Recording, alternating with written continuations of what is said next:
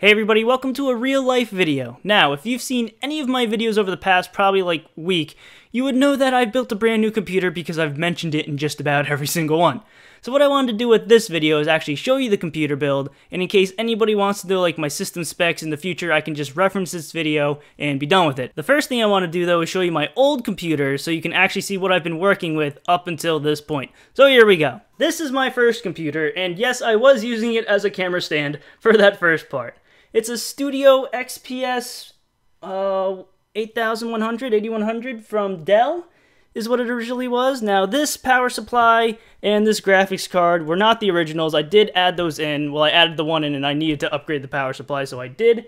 The motherboard, I have no idea what the motherboard is on this thing. It's not actually listed on the parts list that I have here. There is a symbol down here. Let's see. Uh, can I get closer? Right there and I have no idea what that is, but it's also on my power supply, so that's pretty interesting. But yeah, I have no idea what the motherboard is. The processor is an Intel Core i5 650 processor. Not the best, but it is old, 3.2 gigahertz.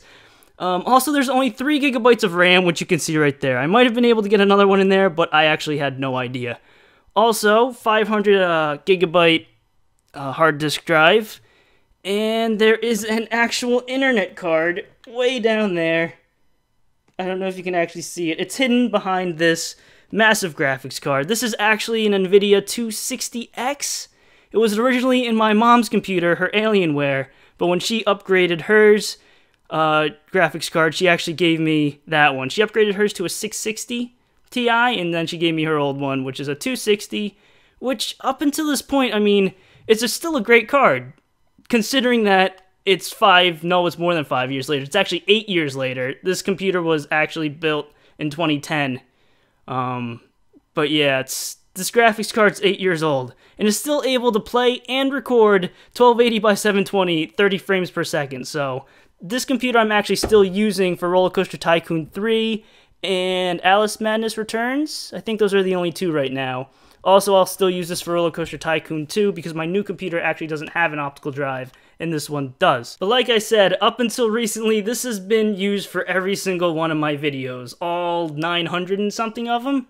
And I've gotten no complaints about crappy quality, so I mean, I must have been doing something right, and it must have been at least a decent computer to get that done.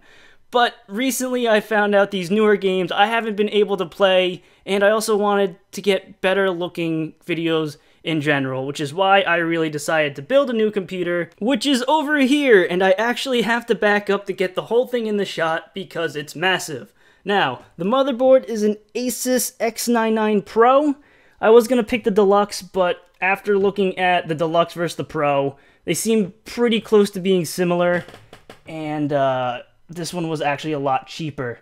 So that's why I went with this one. Now my processor, which you will never see behind this massive cooling system here is an Intel Core i7 5820K 3.3 gigahertz 6 core 12 thread processor. I went with the 6 cores because video editing reasons.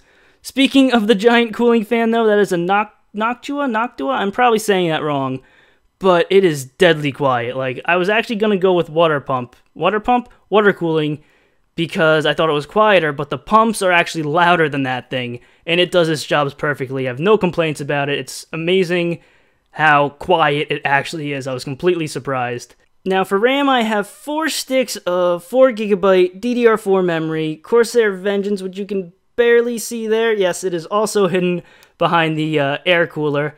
I have four more slots for memory in this motherboard, so when I feel like going for the full 32 instead of 16, I will have the room for it. Speaking of upgrades though, beneath this metal panel here, I have a 1050 watt EVGA power supply. Like I said, I was just preparing for future upgrades, which is why it is as high as it is. Now for my graphics card, I have an EVGA GeForce GTX 980 Ti superclocked. All I can say about this thing is it's an absolute beast. I'm in love with this graphics card. It's the most beautiful thing I have ever seen and I have no problems playing any games, highest settings, max frame rate. It's an absolutely amazing piece of machinery there, and I can't wait to get another one.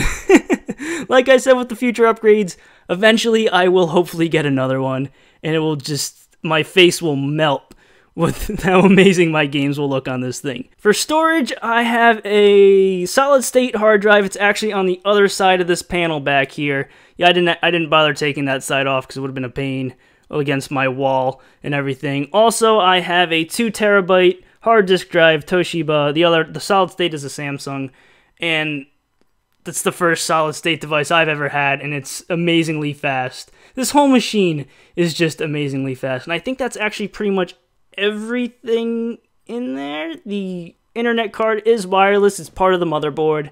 Um, got two case fans. The Phanteks Enthoo case, as you can tell. Phanteks! Phanteks. Yeah. And there's also another fan right there. Massive fans. You can probably see that black sliver there is the fan. Um, dust filters everywhere on this thing, and it's I am just so happy that I actually did this. This was one of the things I've always wanted to do, and I finally did it, and I think it was at the best time possible. This machine is the most beautiful thing I've ever created, or ever will create, including my future children in there. oh, that's pretty terrible. But still, it's the truth.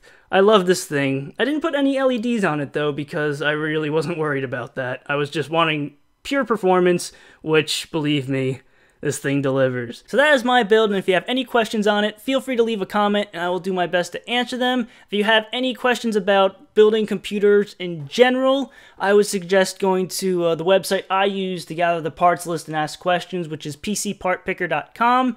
It was great. I was able to find all the parts I wanted, and then I actually posted that list into the forums and had someone else go through it and suggest cheaper parts that functioned the same also, they told me about how the water cooling probably wasn't the best, and when I looked at it, I did find out that the air cooling was quieter, which suits me better because while recording, I don't want this thing droning the whole time.